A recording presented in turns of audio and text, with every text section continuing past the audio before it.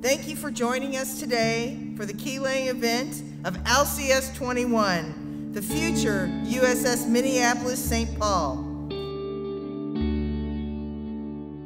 LCS 21 will be the second vessel to bear the name of the Twin Cities. And like her predecessor, a nuclear attack submarine, the new Minneapolis St. Paul will be tough, resilient, and ready for her call to service.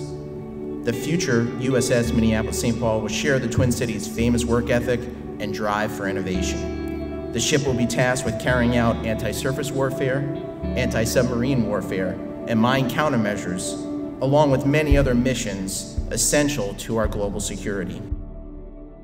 In the days when hulls were built of oak and sails made of canvas, the wooden keel was the bottommost structural element and foundation of a ship's strength.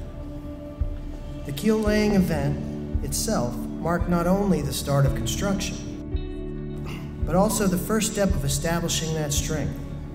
Shipbuilders would attest to that strength and trueness of the keel by engraving their initials onto the keel.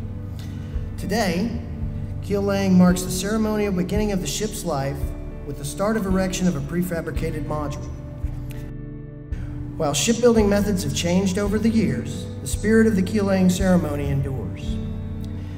Today, we acknowledge this important milestone in the life of the newest littoral combat ship, the future USS Minneapolis St. Paul, and celebrate a monumental leap forward in strength, capability, and flexibility of the Navy's surface fleet.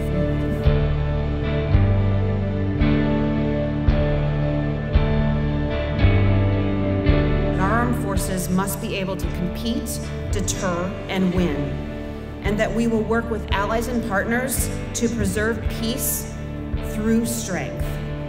It is that sense of pride of service to the nation that we are surrounded by today with the dedicated shipyard workers of Fincantieri Marinette Marine. You are supporting our defense strategy with every weld, braze, and unit.